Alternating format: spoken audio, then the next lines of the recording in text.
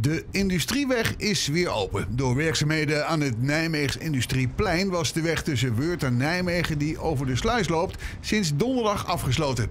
Dat grote ergernis van automobilisten die om moesten rijden om bij hun bestemming te komen. De weg is sinds vanochtend 6 uur weer geopend. Twee weken eerder dan gepland.